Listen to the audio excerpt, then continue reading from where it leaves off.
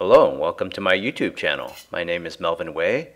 I have many plant growing series on my YouTube channel. This is a plant growing series about growing grapefruit trees from seeds. I start counting it as day zero. And this is how I typically cut open citrus fruits these days.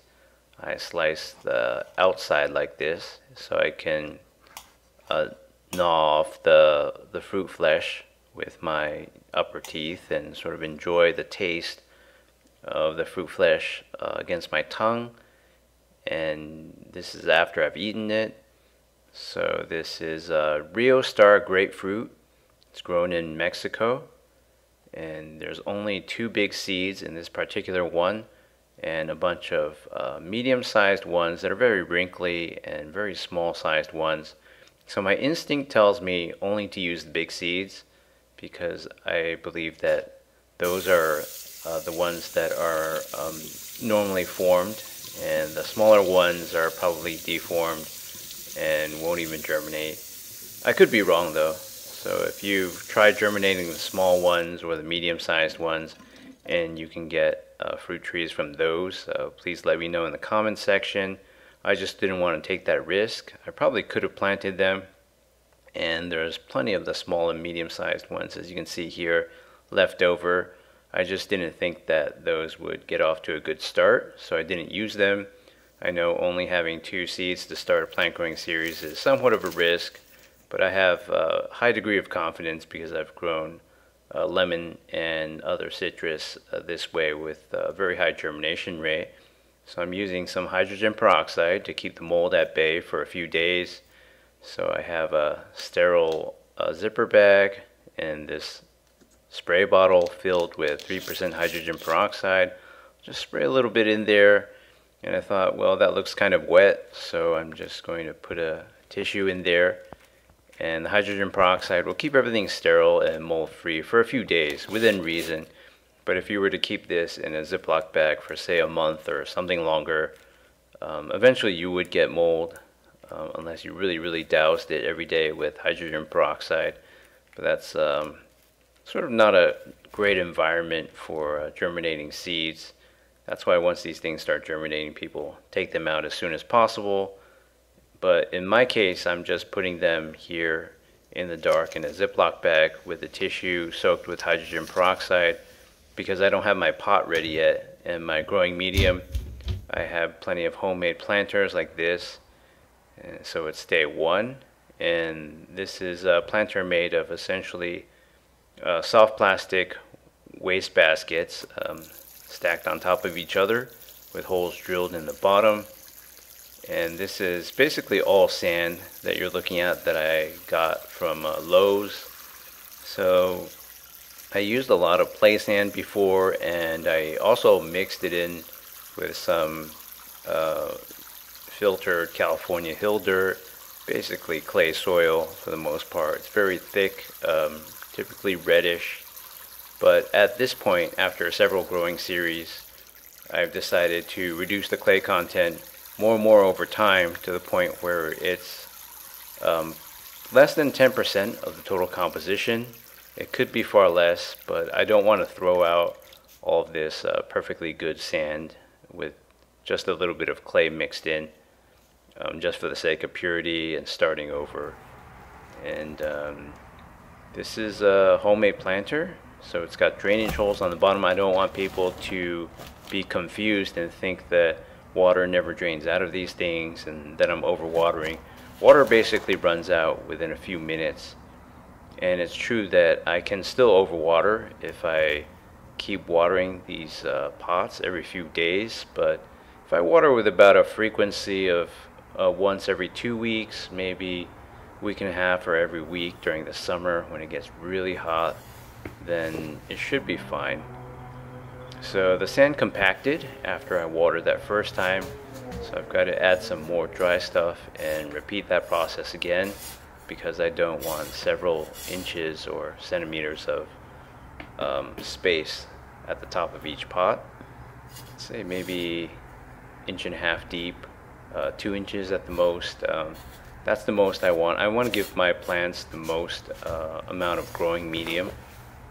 So the reasoning behind this is I want to provide as much thermal mass as possible in addition to the insulation of the dual layers of trash cans to protect the root systems from heat shock and cold shock.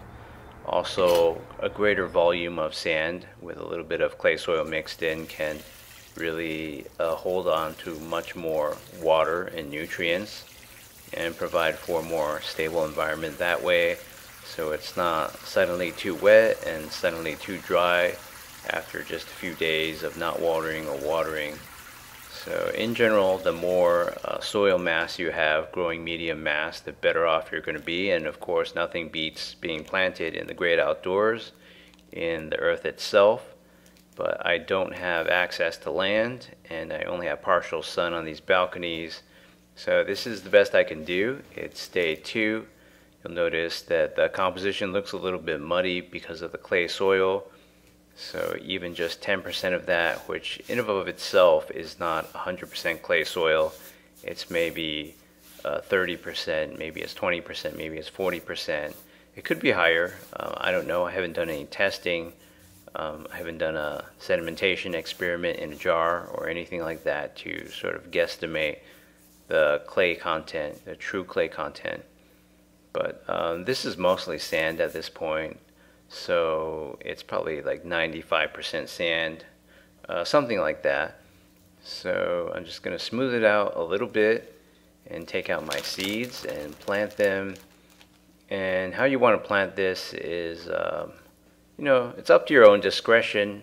You can sort of dig holes with your fingers and have uh, the seeds be a little bit spaced out so the root systems don't bump into each other right away. I wouldn't plant them in the middle, just right adjacent and uh, have them crowd each other. And uh, you can just put the seed in there, and how deep you want it to be is also up to your discretion.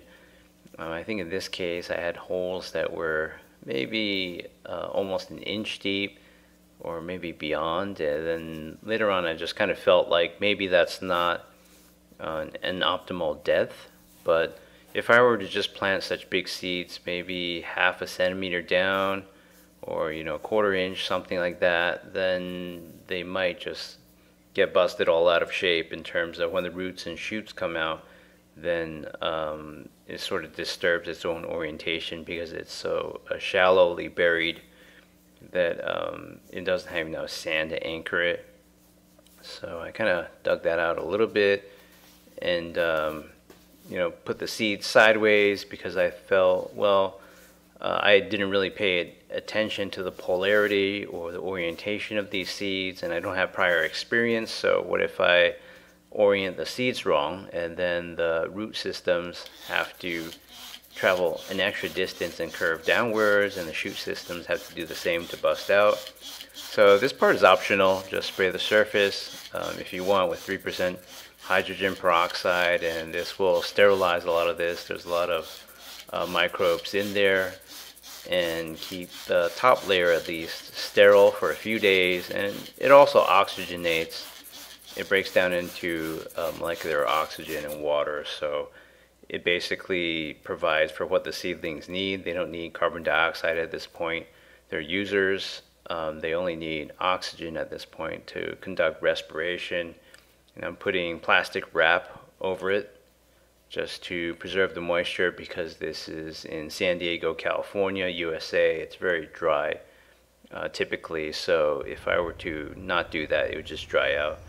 So it's day 28. I moved after just 13 months in my last condominium to this new apartment and you can see the germination is fresh has that dry and cracked appearance um, near where the stems are coming out especially for this one so that means I haven't watered uh, up until this time um, since basically the beginning from which the sand was moist and um, the sunlight on this balcony is better than what I had before by far, but it's pretty much gone by 1 p.m. every day. And you can see this is the apartment landscaping. There's some houses in distance, uh, air conditioning compressors, and uh, these huge pine trees that shed so much detritus and organic matter onto my balcony. and that's a, a eucalyptus. Um, wait, actually, no, no, that's um, yeah, it's like a Peruvian pepper tree, I believe. So anyway, um, that's my setup. I have lots of space and basically I've got my lemon seedlings which are looking pretty good. There's a lot of spiders here and they spin webs on everything. So um, yeah, mostly pines and pepper trees and they shed a lot of detritus even into this pot, spraying some distilled water to avoid overwatering. So uh, this is something that I do selectively just to sort of get all the dust off and also provide a tiny focused quantity of water to my uh, developing seedlings. And later on I'll just do flood watering. I don't want to just flood the pot right now because these seedlings aren't that well established yet. And if they're not anchored really firmly into the ground, they could just fall over. So on day 39, I have these beautiful two seedlings. So that's two out of two. It's pretty easy and I just listed a bunch of adjectives that I use to describe the beauty of these things. They have such lustrous, waxy leaves. It's a very verdant green. Um, they're, for the most part, upright and growing very well. So I really couldn't ask for a more perfect start. Um, the leaves are just, uh, yeah, they're works of art at this stage, and there are no blemishes really. Well, this one Looks like it's a little bit asymmetrical, but um, on both sides actually. But uh, yeah, maybe none of that stuff matters anyway. So um, I'm just really enjoying the beauty of these two seedlings. And they get a few hours of morning sun every day. And I'm going to do my first fertilization four weeks in. So that's Miracle-Gro in powder form, supplemented with crushed vitamins and of course, plants don't need all the vitamins that we do, but I use crushed vitamins to supplement because they've got calcium carbonate. Um, they provide easy to absorb calcium and other things, uh, magnesium, iron, zinc, and all these other trace metals that can uh, complement what the Miracle-Gro is missing because Miracle-Gro doesn't have everything that a plant needs in it. It has most of what it needs. Um, so you can see all these different uh, elements in here and it's basically that stuff on the right side of what I was just showing you that is what a plant needs in addition to what you see here which is uh, water soluble Miracle-Gro that you put in a watering can um, yeah just sprinkle it on the surface to control the amount without having to make a messy dilution in the kitchen so yeah, this has all the macronutrients and some of the micronutrients the plant needs to grow. It's day 66, so a bit of time has elapsed, over two months, and it's really dusty out here. So it's just full of detritus, uh, spiders, and their webs. So uh, it's taken a while just to clean this um, apartment and clean the balcony.